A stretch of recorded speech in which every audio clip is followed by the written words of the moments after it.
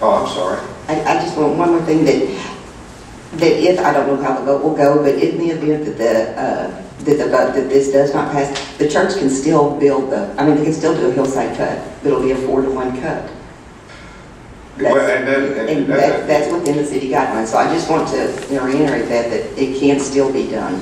It just won't be a three to one cut. And, and, and and again, there are things that, and I know that there are things that this city council has uh, certainly a responsibility to find out the answers to. And, and, you know, we obviously, again, have the right to make, you know, whatever decision is made tonight.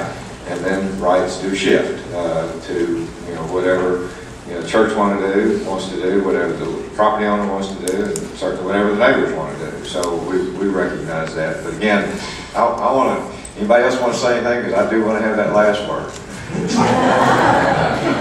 Well, then, just let me just say that I, I do, do underline my desire that, that, that we, we overlook, you know, the negative and we look at the positive. This is a great community. I've lived in Park Hill all my life. Uh, I value it. I wouldn't, you know, every house that I've had is within eight blocks of where I live right now. So I'm, I'm extremely sensitive and certainly desirous of the continuation of, of that, uh, tradition, and I appreciate the good words that people have said, and, and let's move forward. With that, Ms. Whitman? Ross? No.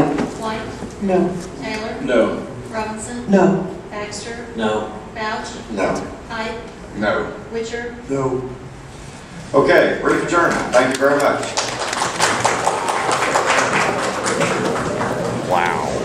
I did not expect that.